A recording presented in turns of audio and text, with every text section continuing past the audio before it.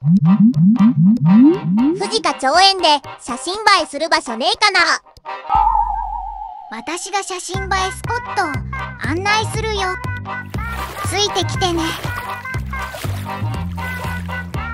まずはここだね。ここはどこなの？ここは富士家町園にあるでけえ池だよ。ここでは晴れていると富士山が綺麗に撮れるんだ。こんな感じの写真が撮れるんだ。男塾でこんなシーン見たことある。こうしたら完全に男塾だね。冗談はさておいてこんな感じの写真が撮れます。いい感じだね。続いてはこちらベボニア富士山です。すごい綺麗ですね。ここではどんな写真が撮れるんですか？こんな写真が撮れます。北斗の剣かな？冗談はさておいてこんな感じの写真が撮れます。すごい綺麗ですね。写真のためにスマホを置く場所があるので誰でも綺麗に撮れますよ。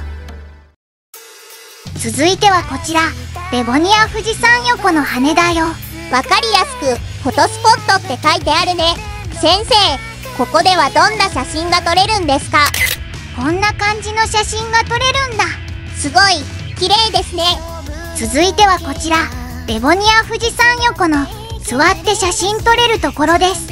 椅子も長いし大人数でも安心ですね。集合写真にはうってつけだね。でどんな写真が撮れるのですか？待ってました。こんな感じです。合成する気力がなくなりましたね。清掃を着てちゃんと座ればガンニバルに出てきた後藤家の集合写真みたいなのも撮れるよ。わかりやすい例え。ありがとうございます。いかがでしたでしょうか？